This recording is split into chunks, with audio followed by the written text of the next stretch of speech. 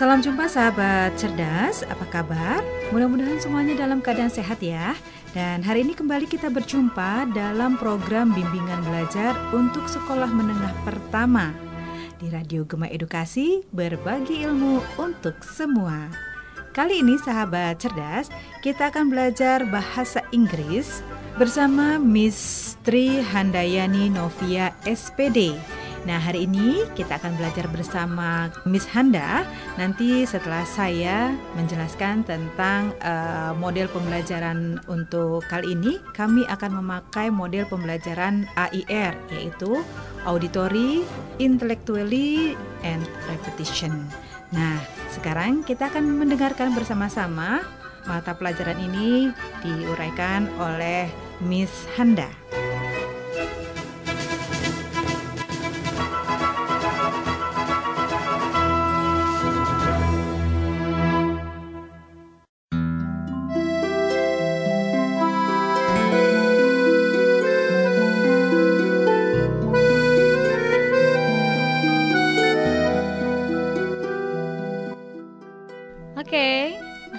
Assalamualaikum warahmatullahi wabarakatuh.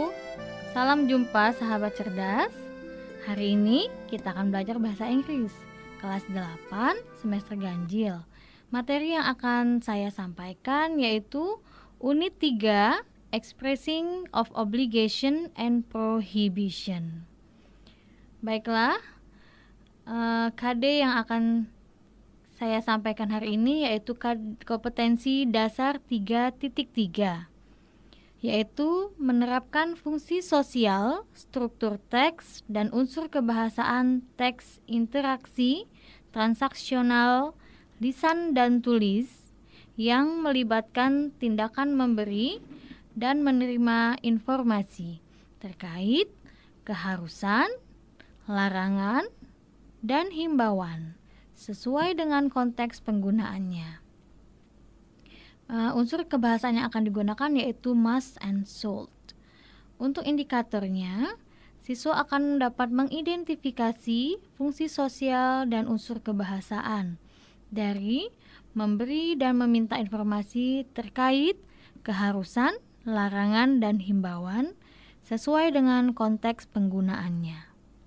3.2 yaitu indikator menyebutkan ungkapan tindakan memberi dan menerima informasi terkait keharusan sesuai dengan konteks.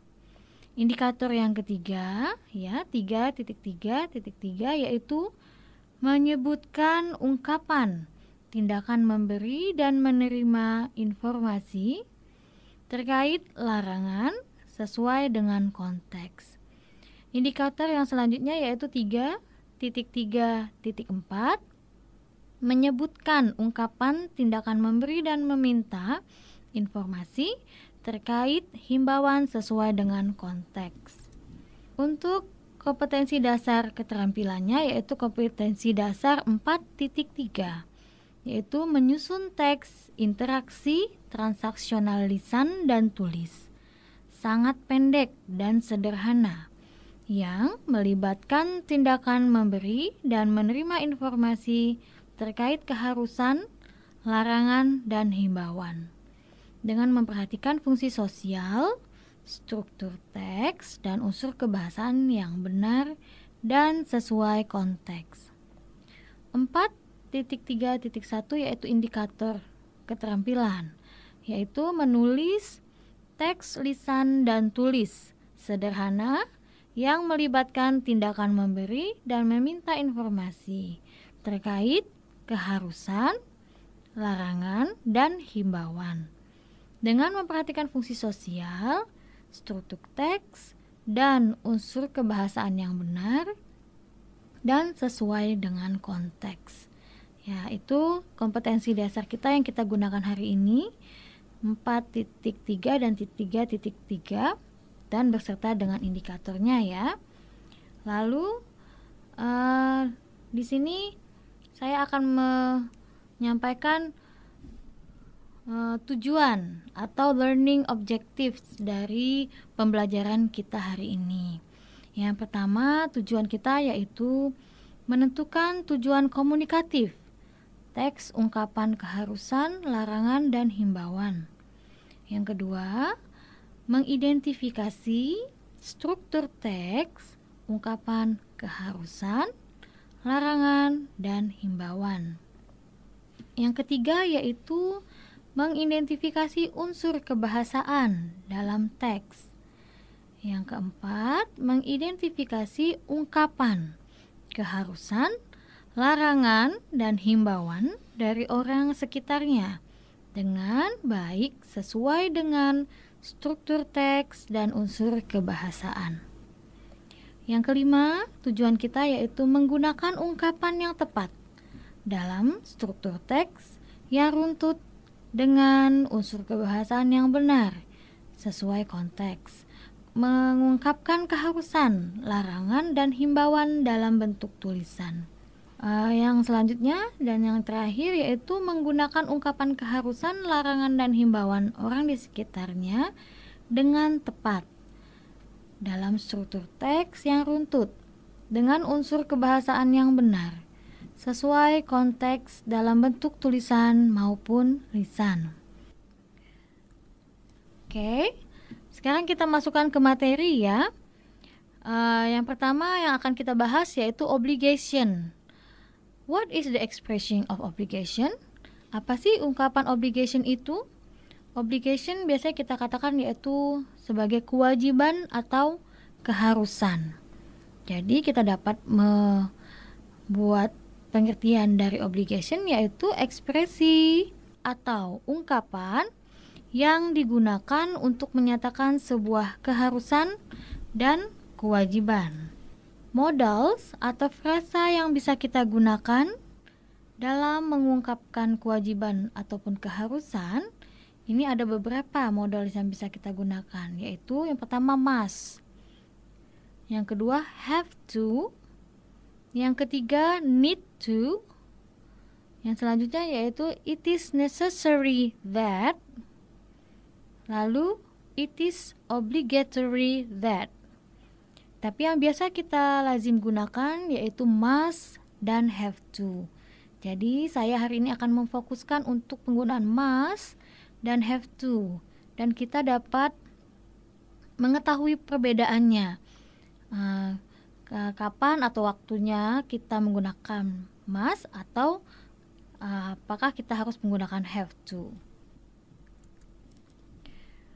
Oke, selanjutnya yaitu perbedaan penggunaan antara must dan have to. Must dan have to e, pengertiannya sama, yaitu harus. Artinya ya dalam bahasa Indonesia. Tapi yang kita lihat nanti perbedaannya, untuk must digunakan untuk menunjukkan kewajiban yang kuat atau kewajiban yang diperlukan menurut diri sendiri atau si speaker itu yang berbicara ya. Atau juga pendengar yang bisa dikatakan listener. Jadi dia lebih diperlukan untuk menuruti diri sendiri contoh yang kita bisa ambil ya for example I must go home early baik saya ulangi I must go home early saya harus pulang cepat. Ya, mas di sini yaitu pengertiannya harus. Jadi harus pulang cepat. Contoh yang kedua, you must bring your book tomorrow. Kamu harus membawa bukumu besok. Jadi harus mas penggunaan di sini sebagai untuk diri speaker ataupun listener. Oke, okay? untuk kedua yaitu have to. Have to juga pengertiannya harus. Digunakan untuk mengekspresikan kewajiban yang kuat karena ada campur tangan dari pihak luar. Orang lain yang membuat adanya kewajiban tersebut. Contohnya yaitu you uh, have to obey your parents. Kita, uh, kamu ataupun kita harus mematuhi orang tua kita. Yang kedua yaitu we have to wear school uniform at school. Artinya kita harus pakai seragam sekolah di sekolah. Jadi ini bisa memperkuat karena ada campur tangan dari pihak luar ataupun peraturan. Oke, itu uh, perbedaan dari must dan have to. Dari sini kita bisa lanjut pelajaran ataupun materi selanjutnya yang kedua ya. Contoh-contoh must dan have to dalam bentuk dialog.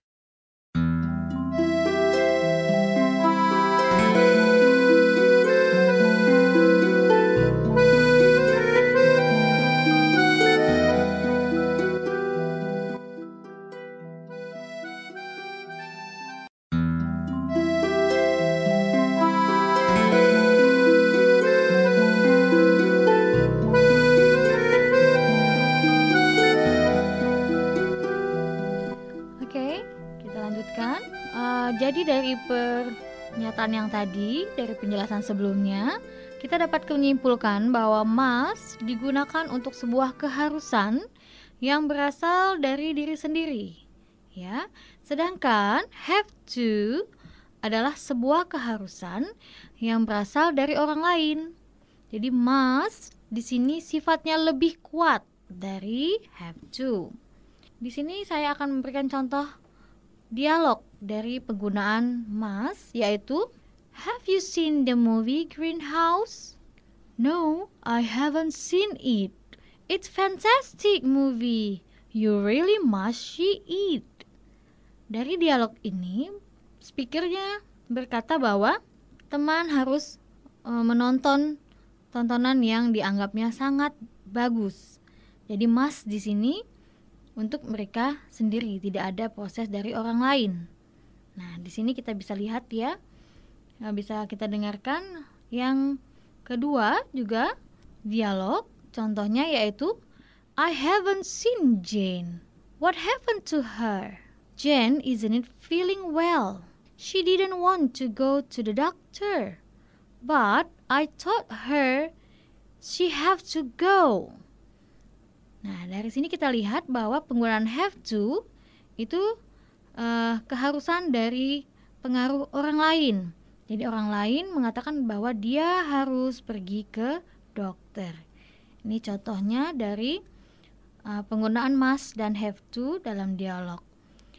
Dari materi kita, kita dapat simpulkan bahwa structure text model auxiliary must yaitu uh, subject plus must plus verb one. Contohnya yang bisa kita ambil, she must call her mother. She di sini sebagai subjek. Must yaitu modal auxiliary. Call yaitu verb one, kata kerja pertama. Dan her mother yaitu objek. Contoh yang kedua dari penggunaan must, students must study every day. Students di sini sebagai subjek, must sebagai modal auxiliary, study sebagai verb one, kata kerja pertama, dan everyday sebagai adverb of time, yaitu kata keterangan waktu. Inilah uh, pattern yang biasanya kita gunakan ataupun kita biasanya mengatakan rumus dalam penggunaan modal auxiliary must. Yang kedua, yaitu structure text have to. Rumusnya yaitu subject plus have to plus verb one. Contoh yang bisa kita gunakan, I have to go to school before 7 a.m. I sebagai subjek, have to sebagai modal, go yaitu verb one, kata kerja pertama, to school before 7 a.m. yaitu complement atau pelengkap. Contoh yang kedua, my sister has to go home at 7 p.m. My sister sebagai subjek has to sebagai auxiliary verb Go home yaitu verb one kata kerja pertama. At 7 p.m. yaitu adverb of time atau kata keterangan waktu. Untuk expression of obligation, kita juga dapat menggunakan bentuk yang lain. Contohnya, it is an obligatory to stop when the traffic light turns red. Yaitu adalah ke sebuah keharusan untuk kita berhenti ketika lampu lalu lintas warna merah menyala. Di sini berarti unobligatory itu artinya sebuah keharusan. Yang kedua, yang bentuk yang bisa kita dapatkan yaitu it is necessary that we follow this guideline. Kita harus mengikuti pedoman ini. Necessary di sini artinya yaitu harus. Contoh yang ketiga yaitu it is your responsibility to clean the table. Ini adalah tanggung jawabmu untuk membersihkan meja. Ya, responsibility di sini yaitu tanggung jawab dan artinya juga keharusan. Jadi ini kita bisa gunakan juga selain must, have to, has to, kita juga bisa menggunakan bentuk menggunakan unobligatory, necessary, ataupun responsibility. Baiklah, materi kita hari ini Selanjutnya setelah obligation yaitu prohibition. Prohibition yaitu se kata lainnya adalah warning. Artinya larangan. Jadi prohibition is an expression to warn other people not to do something or to forbid Ya, prohibition itu adalah ungkapan melarang orang lain untuk tidak melakukan sesuatu ataupun juga me, e, tidak menyetujui bisa ya. Di sini prohibition ya has two patterns. Dia memiliki dua bentuk. They are verbal prohibition and nominal prohibition. Nah, di sini kita akan lihat bagaimana perbedaan antara verbal prohibition dan nominal prohibition. Baiklah, untuk verbal prohibition, key place-nya yaitu menggunakan don't atau do not before a bare infinitive. Jadi sebelum kata infinitive, ya, sebelum kata kerja, kita menggunakan do not itu kita bisa artikan sebagai jangan ataupun tidak boleh. For examples, don't do it. Jangan lakukan itu. Don't sleep in the class. Tidak boleh tidur di dalam kelas. Don't come late again.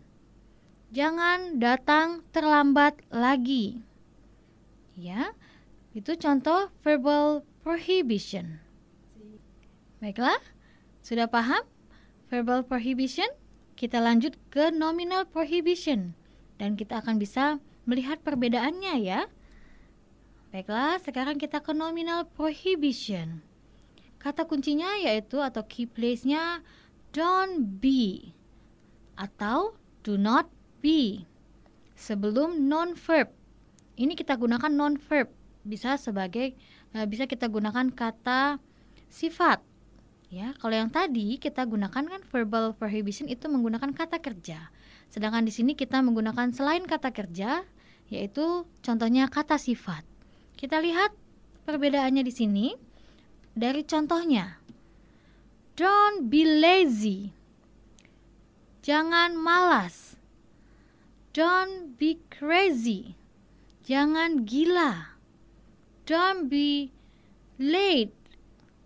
Don't be late itu jangan terlambat. Dan don't be angry. Jangan marah. Di sini kata yang kita gunakan semuanya non verb bukan kata kerja. Jadi semuanya menggunakan kata sifat. Nah, baiklah sahabat cerdas, bisa kalian membedakan antara verbal prohibition dan nominal prohibition. Baiklah sahabat cerdas, dari penjelasan saya sudah mengerti ya antara perbedaan verbal prohibition dan nominal prohibition. Baiklah, kita akan lanjutkan untuk contoh-contoh selanjutnya.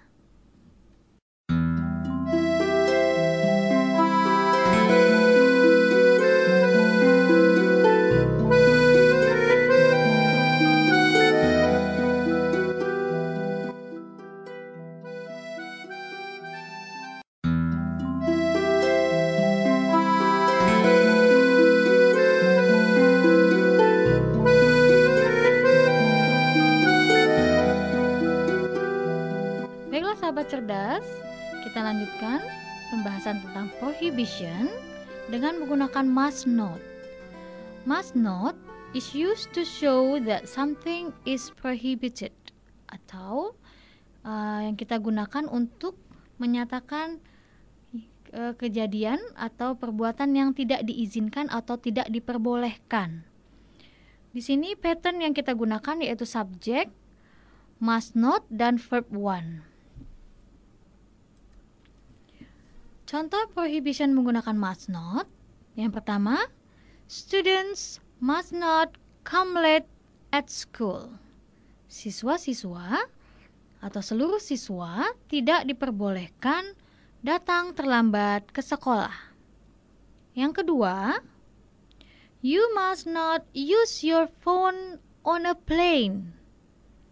Anda tidak boleh menggunakan telepon di dalam pesawat. Contoh yang ketiga, you are not allowed to use your phone in the class. Di sini, must not kita bisa gantikan dengan are not allowed. Kamu tidak diperbolehkan untuk menggunakan telepon di dalam kelas. Yang keempat, visitors are not allowed to swim in this area. Pengunjung tidak diperbolehkan berenang di area ini.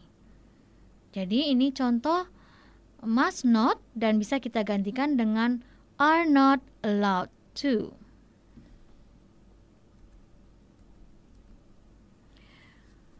Uh, untuk structure of the sentence, penggunaan verbal prohibition yang sudah kita bahas sebelumnya yaitu do not, verb one, and object.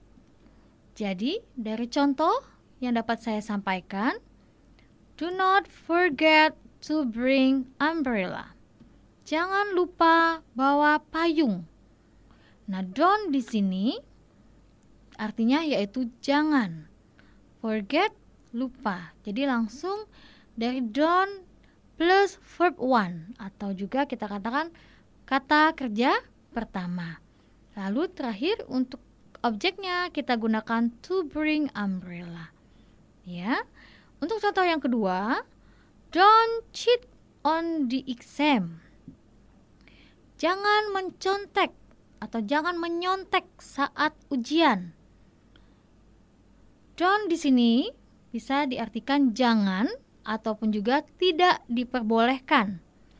Cheat menyontek, lalu objek on the exam saat ujian. Yang ketiga, do not eat too much chocolate. Ya, don't artikannya jangan, eat yaitu kata kerja pertama, too much chocolate yaitu objek. Baiklah, itu pattern ataupun rumus dari verbal prohibition. Baik, sampai di sini sahabat cerdas sudah paham? Saya harapkan sudah ya dapat mengikuti. Lanjut kita untuk structure of the sentence untuk nominal prohibition. Sebelumnya, verbal prohibition yaitu penggunaan kata kerja, sedangkan untuk nominal prohibition kita penggunaan selain kata kerja, yaitu adjective. Jadi patternnya atau rumusnya yaitu do not plus be plus adjective. Contoh yang bisa kita gunakan ya, for example number one, do not be lazy. Jadi do not jangan be di sini sebagai penjelas dari kata kerja lazy yaitu malas sebagai adjective. Yang kedua, do not be angry. Do not be angry artinya jangan marah. Jadi do not ini artinya jangan, be itu tidak ada arti, hanya penjelasan untuk kata sifat. Angry yaitu marah sebagai adjective, sebagai kata sifat. Yang ketiga, do not be sad. Sama ya seperti yang di atas sebelumnya, yang sebelumnya ibu, ibu kasih contoh itu tadi. Do not be sad, do notnya jangan. Be sad, sedih. Sebagai adjective ya jadi bisa kita bedakan lagi ya bisa anda ulangkan lagi untuk verbal prohibition dan nominal prohibition baiklah di sini saya akan memberikan contoh dalam bentuk dialog the weather is cloudy today do not forget to bring the umbrella Siti alright mom di sini Ibu mengatakan bahwa cuaca sedang mendung. Jangan lupa membawa payung. Nah, penggunaan di sini adalah do not forget to bring umbrella sebagai verbal prohibition. Untuk yang kedua, tomorrow we will have English test, students. Do not forget to study. Oke, Miss Handa. Oke, di sini bahwa teacher mengatakan besok akan diadakan ujian. Jangan lupa untuk belajar. Ini contoh dialog penggunaan nominal prohibition. Penggunaan menggunakan adjektif ya. Forget di sini sebagai adjektif. Oke. Uh, dari penjelasan yang sebelumnya kita juga dapat menggunakan uh, ekspresi yang lain atau ungkapan yang lain. Contohnya, it is prohibited to make graffiti on the school wall. Artinya di sini dilarang untuk membuat coretan di dinding sekolah. Prohibition, prohibited itu artinya yaitu dilarang. Contoh yang kedua, you are not allowed to enter the room kamu tidak dibolehkan untuk masuk ke ruangan ini.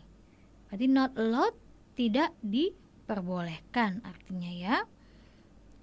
Yang ketiga yang bisa kita gunakan yaitu it is forbidden to feed animals in the zoo. Dilarang memberi makan binatang di kebun binatang. Forbidden itu artinya dilarang atau tidak bisa diperbolehkan. Jadi kita bisa gunakan ma e, berbagai macam ekspresi untuk pernyataan prohibition. Baik, uh, dari pembelajaran kita tentang obligation dan prohibition, uh, saya akan membuat statement tentang uh, pandemic situation topiknya ya. Contohnya yaitu in this pandemic situation we must take care of our health and we must not go outside without wearing masks. Remember, we should wear masks outside. Jadi di sini selama pandemi kita harus menjaga kesehatan dan kita juga harus uh, tidak diperbolehkan untuk pergi keluar tanpa menggunakan masker dan ingat kita harus memakai masker saat kita berada di luar rumah. Baiklah, itu statement dari saya. Uh, kita masuk ke assignment ataupun penugasan. Contoh, penugasan yang akan saya berikan hari ini yaitu write your statement by using obligation and prohibition. Jadi kalian mengungkapkan atau menyatakan sesuatu uh, beberapa kalimat ya dengan menggunakan obligation dan prohibition. Choose these topics. Nah, topik yang akan saya berikan yaitu first, yang pertama, activity during online learning. Apa saja aktivitas selama pembelajaran online yang dilarang ataupun yang harus dilakukan. Jadi penggunaan obligation dan prohibition. Topik yang kedua yaitu preparation before examination. Persiapan sebelum ujian atau menghadapi ulangan. Jadi apa saja yang harus dikerjakan dan tidak diperbolehkan. Jadi kalian akan membuat satu paragraf dengan menggunakan ekspresi obligation dan prohibition. Baiklah, saya harap kalian bisa mengikuti materi dari saya dan juga dapat mengerjakan tugas dengan baik. Baiklah, thank you for today. I hope you keep health ya. Saya harapkan kita tetap sehat. Ingat, selama pandemi ini kalian tetap belajar secara online ataupun daring di rumah.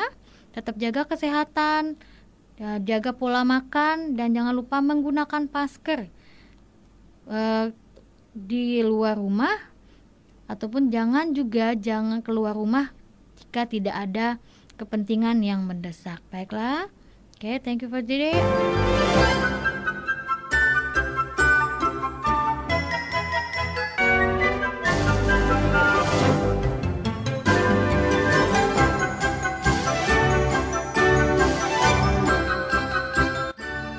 Baiklah sahabat cerdas, demikianlah pembelajaran kita untuk hari ini pada program bimbingan belajar untuk sekolah menengah pertama. Nah, program ini diproduksi oleh Balai TIK Pendidikan dan Kebudayaan Dinas Pendidikan dan Kebudayaan Provinsi Lampung. Semoga bermanfaat dan tetap semangat dalam meraih cita-cita. Sampai jumpa.